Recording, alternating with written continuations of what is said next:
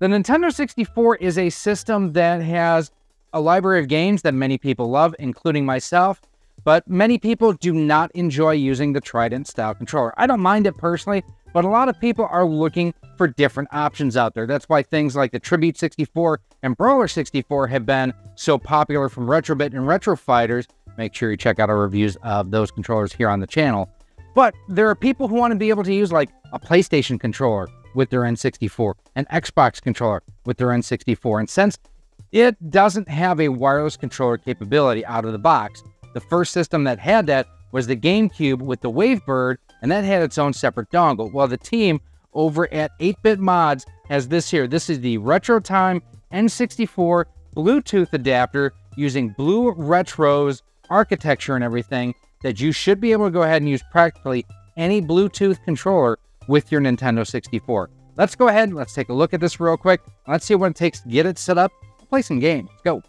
So here we do have the RetroTime N64 adapter. You can see the 8BitMods logo down there. A little bit on the side on that way. And on here, plug into original N64. High quality molded shell, not 3D printed, it is molded.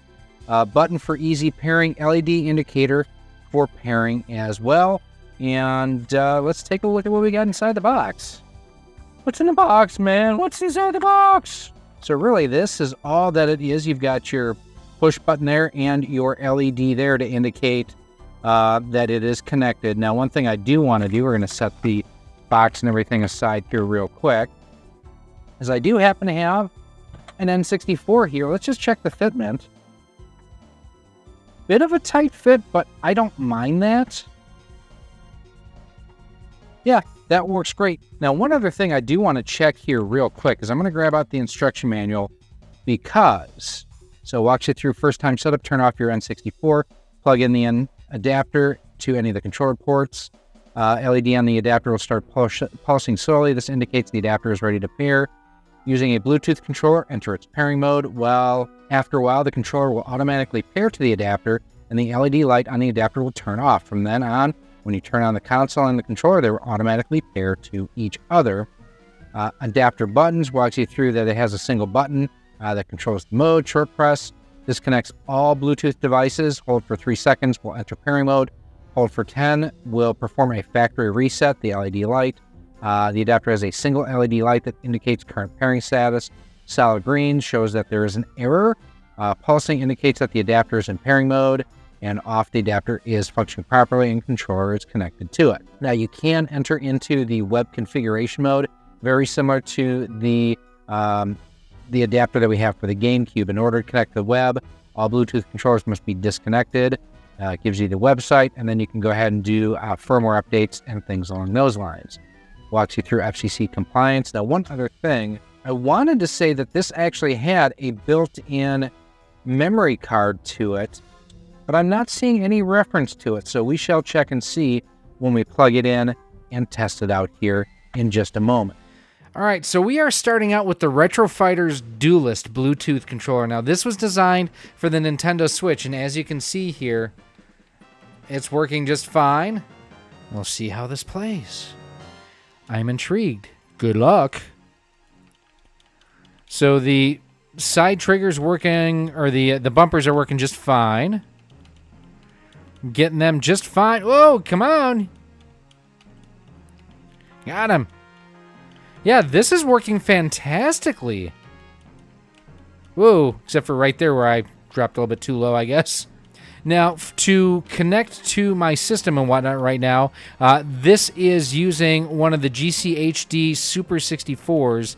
I do need to HDMI mod my N64. Uh, I just have not had time to do it, or at least to finish it. I know Postman, I got one from him uh, recently. Right analog stick is working beautifully for the um, for the C triggers. Whoa, I'm feeling very responsive. I'm liking this very much. All right, we're gonna switch it up and go to our next game because this is I'm I'm very happy. We're gonna try a different controller then too. So we've switched things up here, and just in doing a little bit of testing before I hit record. This is awesome. PS4 controller with GoldenEye. This is awesome. Although I kind of want to flip the stick control. So messed around a little bit with the controls, and I just found that what you know the default was. That's kind of where I wound up at uh, with you know controller one. But I mean, it's working there.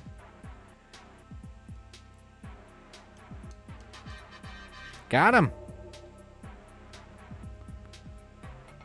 It is just weird that this game does not suit itself well, at least default to twin sticks. It just hmm. doesn't. There's there's no way around it, but you could do it. And part of my issue here is just trying to unlearn what I am so used to playing modern shooters and whatnot. Let's see if we can get him in the head. Got him. Yeah, this is going to take me a while to train my brain how to do it, but I think this has some potential because a lot of what we've developed over the years for just, you know, muscle memory for playing twin stick shooters, this game does not do at all. but the fact that I'm playing GoldenEye with a PS4 controller, um, pretty stinking remarkable. J, J, J, J, J, J, J, J, J, J, J, J, J, J, J, J, J. J. Yes, this one goes out to our good friend Jay over at Square Pegs. And what I have here is the N64 Switch Online controller. And, uh, oh yeah, it works. It works. Hell yeah. Now, one thing I will say, I don't like the stick on this. I never have, but that's on this controller, not on the adapter. Womp, womp, womp, womp, womp, womp, womp, womp, womp, womp. Oh, this is fantastic. If I could just remember how to go ahead and shoot, which I guess you just release. So, what do I think of this? Um, overall, I think it's pretty brilliant. Um, I love the fact that I can just use it with any controller and it works. That's Bluetooth at least. Poochie! Um, the fact that it works with the Switch Online controller, hell yeah. Even though, like I say, I'm not a fan of this controller myself, it just works. It's a beautiful thing. You know, I don't feel like I'm missing anything either as far as button presses, lag, delay, latency, you know, does not appear to be an issue. Yeah, I mean, for the money, you know, it's fairly inexpensive. Um, and you can get these through CastlemaniaGames.com. That's where I got mine through. Um, and it delivers. And it's, you know, they're always working on future updates, at least for the firmware on the GameCube. So I assume that you're going to have the same, you know, wonderful experience here too, which is terrific. Um, you know, and it's the closest we're probably ever going to get to an OEM wireless solution for the N64 because you can use it with their own controller. I mean, that's fantastic. Absolutely love this.